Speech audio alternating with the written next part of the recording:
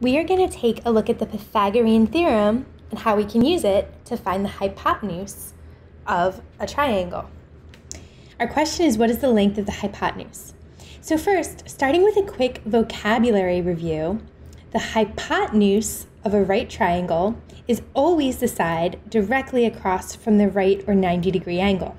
So we know this is our 90 degree angle because it has our symbol, so C has to be the hypotenuse. The other two sides of our triangle that make up the 90 degree angle are called our legs. So the sides that are marked 6 millimeters and 8 millimeters are the legs of the triangle. Now, the reason that this vocabulary is really important is when we use our Pythagorean theorem, and the Pythagorean theorem says a squared plus b squared equals c squared, we always have to set it up so that the legs are a and b. And it doesn't matter which leg you call which, so we'll call one a, we'll call the other one b, but the hypotenuse always has to be c, meaning the hypotenuse always has to be squared by itself on one side, and the legs are always the one where you add the squares together. All right, so now we can plug our information into our formula. So we labeled A as our side that was 8 millimeters. So that's going to be 8 squared. B is our side that was 6 millimeters. So that's going to be 6 squared in place of B squared. And our hypotenuse we don't know.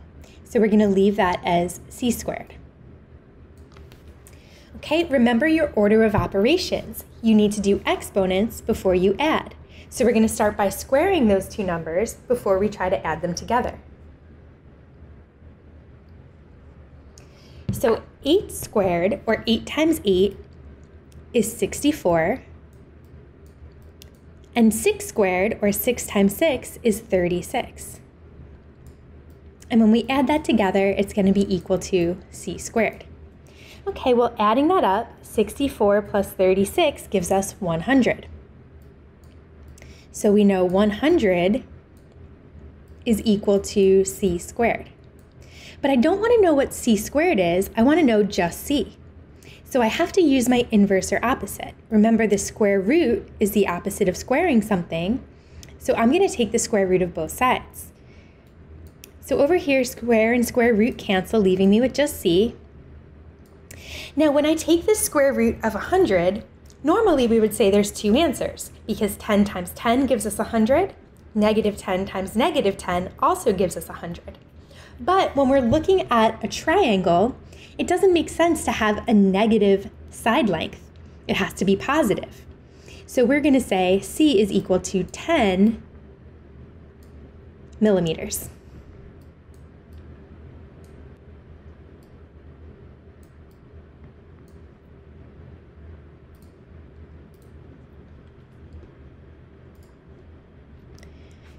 We're going to find the length of the hypotenuse.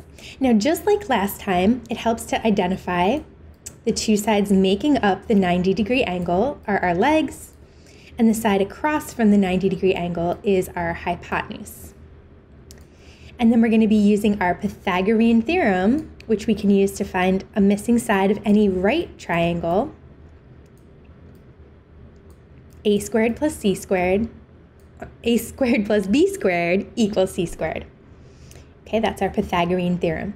And then plugging in our numbers. And for the legs, pick one to call A, the other to call B. It doesn't matter which is which, as long as C is the hypotenuse. That's the important part. So in place of A, I'm going to plug 9. So we've got 9 squared. In place of B, I'm going to substitute 12. And C, we don't know, so we have to keep that as our variable.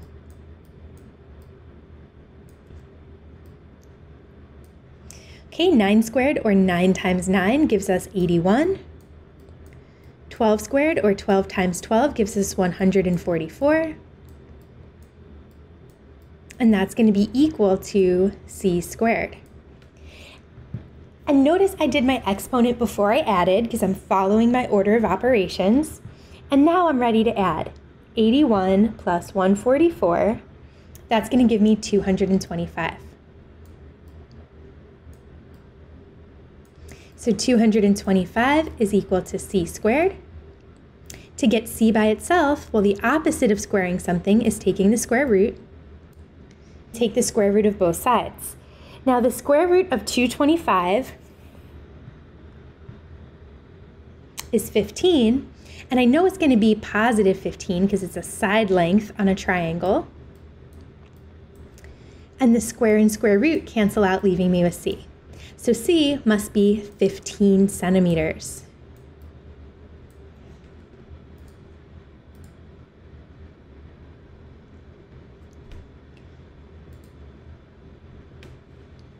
What is the length of the hypotenuse?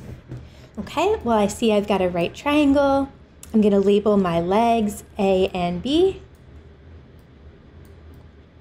And I know that my hypotenuse is going to be C. Setting up my Pythagorean, Pythagorean theorem, a squared plus b squared equals c squared.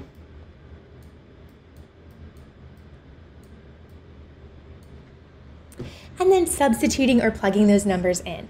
So I'm going to substitute 9 in place of a, so we've got 9 squared. I'm going to substitute 12 in place of b,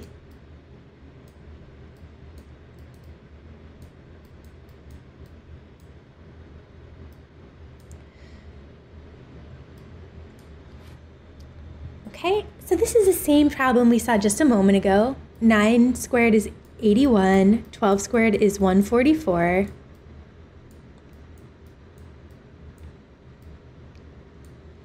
When I add them together, 81 and 144 give us 225. So I'm going to go pretty fast here since we just saw this problem. And we know that that gave us 15.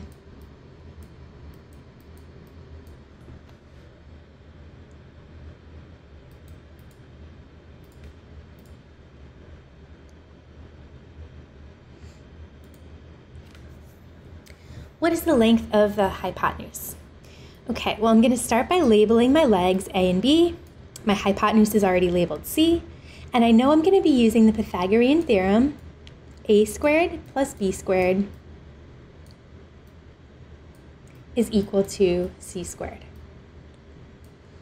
So when I substitute my numbers in, I'm going to say 3 squared. I'm going to put 4 in place of b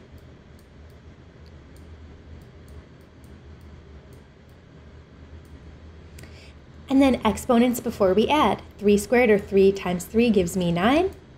4 squared or 4 times 4 gives me 16. And then when I add those together, 9 plus 16 is 25. So 25 is equal to c squared. And then to solve for c, the opposite of squaring something is a square root. So I'm going to take the square root of both sides. The square root of 25 is 5. So, so C is equal to 5 meters.